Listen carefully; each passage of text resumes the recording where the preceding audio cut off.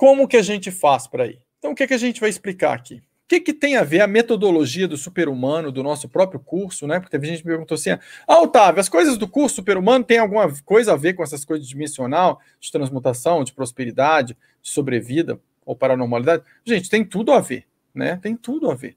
O objetivo da gente ali é estruturar uma base no curso que consiga fazer com que a pessoa é, desenvolva uma base de tudo no seu 360 graus, né?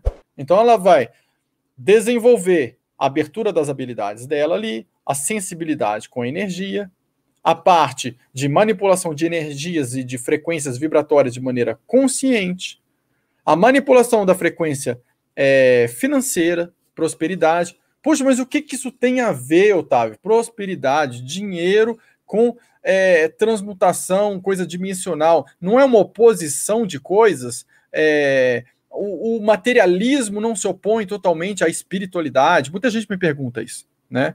Então, é, materialismo não se opõe à espiritualidade. Então, o que, que tem a ver prosperidade e coisa de finanças, de dinheiro a ver com transmutação?